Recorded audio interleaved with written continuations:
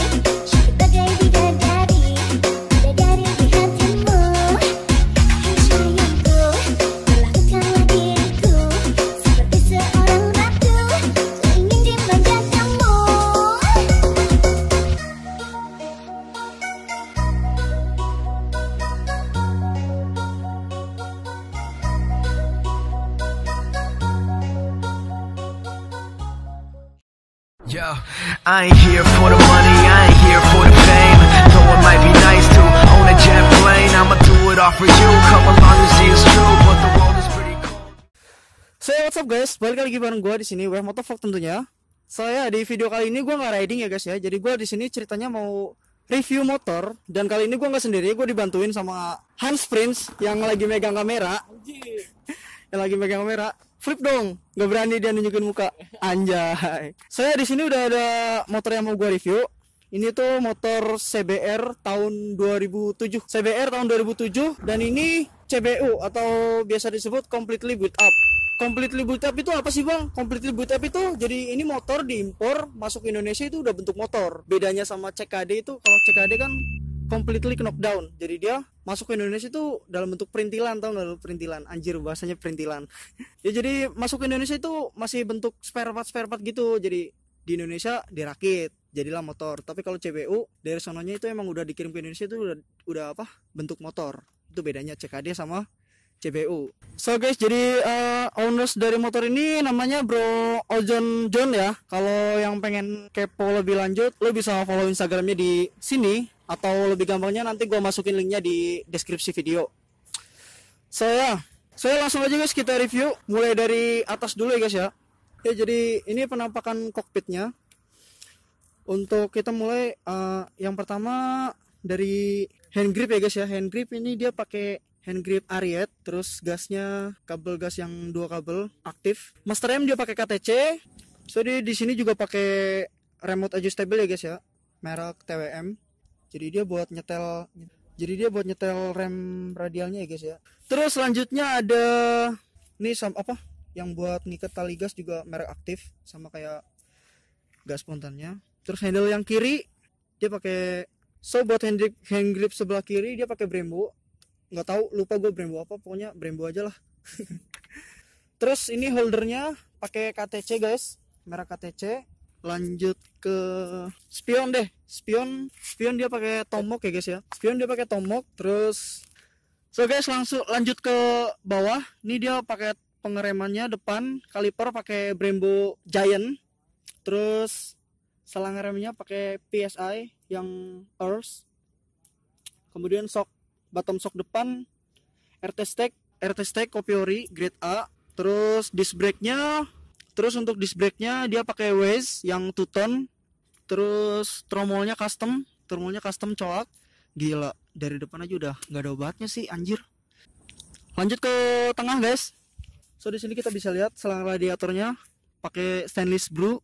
Terus knalpot juga dari leheran sampai ke belakang blue semua anjay gila terus untuk footstep underbone pakai merek DKT ini kelihatan labelnya anjay. DKT coy. Terus untuk sistem pembuangannya atau knalpotnya pakai kau maca ma, ma apa? Apa nih bacanya anjir? Nih guys baca sendirilah. Pokoknya inilah. Mahaca mahaca ya bang ya? Ya pokoknya itulah.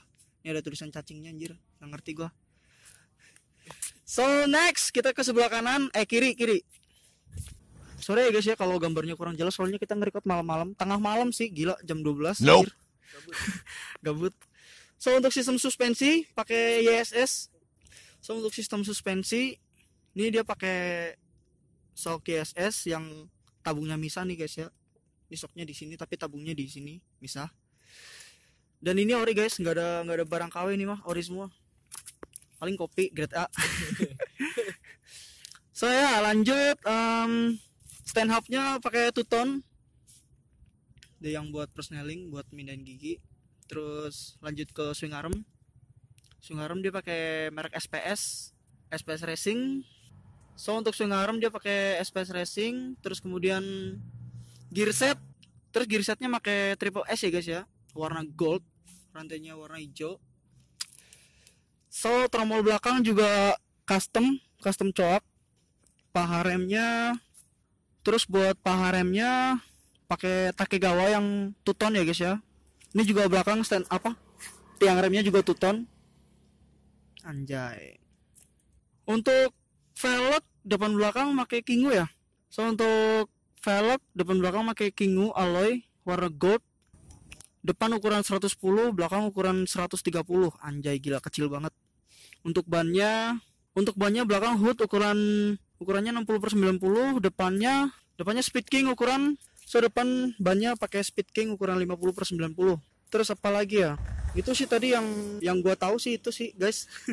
Terus selebihnya sih baut ya. Baut semuanya full body sama kaki-kaki itu udah pakai stainless yang flower warna gold semua. Terus di sini juga kita bisa lihat ada beberapa part yang di Kevlar. Visor visor Kevlar underset juga Kevlar. Joknya juga yang motif Kevlar. Di sini juga Kevlar nih guys. Sampai ke tutup gearnya tutup gear depan juga Kevlar. Oh ya satu lagi nih guys. Untuk blok mesinnya dia catnya pakai powder coating ya guys ya. Jadi dia kelihatannya kayak apa ya ada teksturnya gitu ya. Anjir tekstur udah kayak adonan tai. Ada pasir kayak ada motifnya gitu lah. Nggak nggak polos banget gitu loh. Terus spakbor juga Kevlar. Gila anjir. Ini sih nggak ada obatnya sih. So ya guys, jadi gue di sini udah bareng sama ownersnya ini motor. So kita langsung tanya-tanya aja. Halo bang, Iya. namanya siapa? Okta Okta. Panggilannya? panggilannya apa ya Ojon kali Ojon. Panggil- panggil Ojon Panggilannya Ojon guys. Jadi so ini motor lu bang. iya Ini motor gimana sih kalau boleh diceritain sejarah singkatnya aja deh. Sejarah singkatnya kayak gimana gitu apa dari awal beli kayak gimana? jadi ini gua motor beli second emang untuk dimodif kayak gini Emang sengaja beli motor buat modif ya? Dimodif. Oh gitu. Tapi kenapa milih CBR gitu loh, CBU lagi? Kenapa nggak motor lain gitu? soalnya CBU kayak jarang deh di Jarang yang make gitu. jarang jarang dibikin model Tailok kayak gini Tuh, berarti jarang guys makanya milih CBR.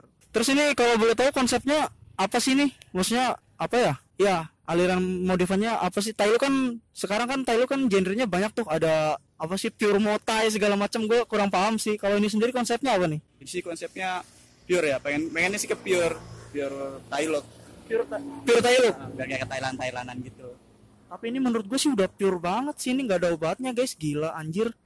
Parah. So jadi kata lu kan tadi ini motor emang buat kontes ya? Udah ikut berapa kali kontes? baru satu sih orang baru jadi Oh baru jadi. Ini baru jadi, baru ikut satu kali kontes. Terus hasilnya hasilnya ya memuaskan PR banyak PR ya. masih banyak PR ya gila. Segini bagusnya masih banyak PR guys, anjir. Gokil. Terus buat ke depannya gimana ini? Apa masih pengen dirapihin atau pengen ganti motor atau gimana nih? pengen ya pengen dibagusin lagi Pengen Biar dibagusin lagi? maksimal Eh, Biar lebih maksimal guys. Emang ini apanya sih yang kurang menurut lu bang? Maksudnya kan tadi kan kata lu banyak PR-nya nih.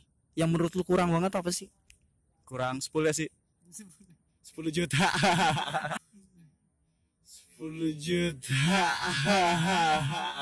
Anjir 10 Gue kira 10 beneran tai 10 juta anjir Anjir gila Eh, So jadi ini kan motor CBU ya bang ya Kalau buat di Indonesia itu ini termasuknya langka nih Kalau buat nyari-nyari part-partnya sendiri gimana? Ada kesulitan nggak? Kesulitannya emang susah sih emang, sulit part-partnya. Paling kita kawin silang sama Ninja, punya Ninja kita pakai sini. Oh jadi di compare sama punya Ninja ya Jadi nggak pure punya CBR semua Hmm. Susah soalnya partnya. Gila emang perjuangan sih kalau motor-motor CBU itu Tapi hasilnya memuaskan guys langka gitu loh Rare kalau orang bilang rare anjir Terus ini bang apa? Ini ya kalau boleh tahu nyari part yang paling susah nih part apa nih? Yang paling susah buat dicari nih? Apa ya? Paling kalau part itu sih sebenarnya nggak terlalu susah. Yang susah itu ngegabungin part-partnya. Ngegabungin partnya gimana tuh? Ini kan motor CBU, susah kan, rare. Barang-barangnya juga susah. Jadi kita nyatuin barang-barang Ninja ke sini. Oh jadi apa? Nyari barang-barangnya itu barang-barang ninja ya. Iya. Makanya gampang susahnya tuh buat masang di sininya. Yang susah. Oh gitu. Jadi montir. Anjay. Jadi kesulitannya sebenarnya di ngakalinya itu ya, cara masang-masangnya itu ya. Soalnya emang bukan bukan partnya dia gitu ya. Terus next question, ini konsep konsep lu sendiri atau dibantu sama orang lain? Di konsep pokoknya dibantu sama Tom's Project. Tom's Project guys, nih Instagramnya nih. Lu bisa follow atau dikepoin. Jadi ini Tom apa? Konsep semuanya atau sebagian doang sama Tom's Project ini? Apa lu ikut andil buat konsepin ini motor? Kalau gue mau cuma dikit doang sih. Tom's Project tuh ya paling banyak. Oh jadi Kotaknya sih Tom's Project.